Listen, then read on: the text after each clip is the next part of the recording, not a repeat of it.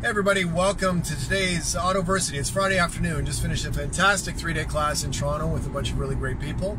And uh, this class, uh, based on the students' questions, ended up going off in a lot of crazy directions, but I'm okay with that. So I just have fun with that, and it was entertaining and informative. And um, of course, if you like these tips, please hit subscribe, share, like, or comment. So um, this tip really is about my business.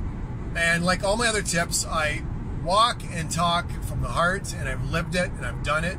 And maybe you can see yourself in these tips or in this one or in this thought a little bit and reflect on this and really uh, get the message here what I'm trying to make. So about six months ago, I said to my assistant that I should be fired. And she goes, what are you talking about?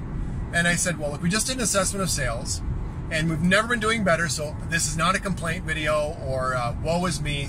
Things are great. It's never been better on pretty much every front. And we're looking at the, the quality and the quantity of services that we offer, our client testimonials and results, uh, the depth and breadth of different products that we now have, and how we can help so many people. I've got three books on Amazon, 3,000 online training videos, a call center.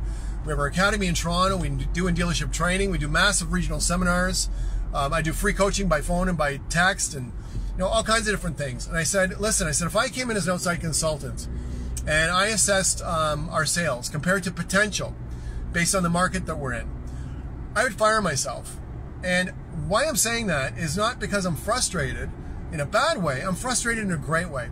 I see nothing but upside, nothing but potential. I think I'm probably doing, I don't know, 10% of what I think we should be doing, and we're doing great.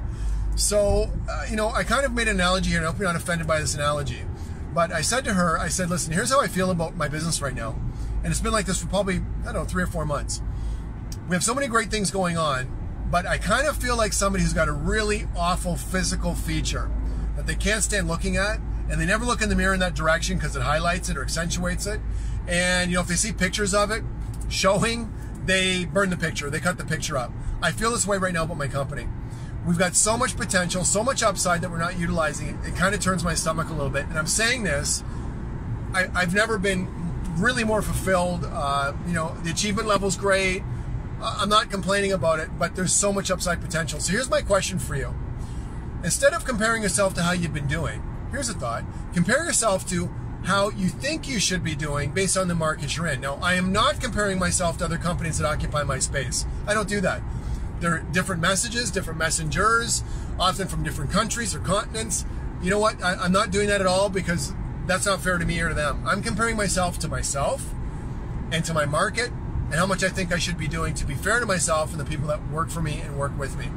So, everybody, on this tip, I'm going to ask you a question.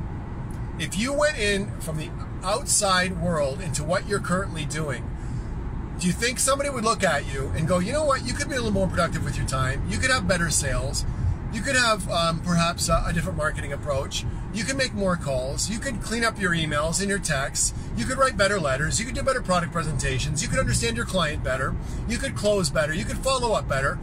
Would somebody tell you this? Well, if the answer to that, uh, any of that is yes, you know what, you know yourself, you're supposed to know yourself better than anyone else.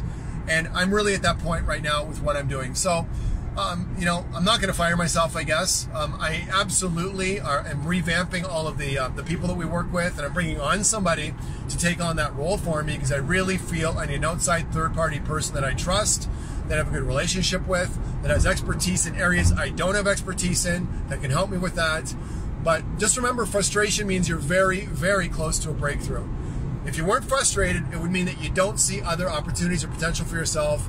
So I've learned in the last 20, 30 years of my life to welcome frustration and bring it on in realistic, um, you know, realistic times. And I'm at that point right now. So let's see if there's any breakthroughs. You know, buckle up and hang on. I'm looking for great things for myself, my business, and for you for the next uh, few months or few years. I'm Duane Marino. Wish you great selling. Take care. Happy Friday, and have a good weekend.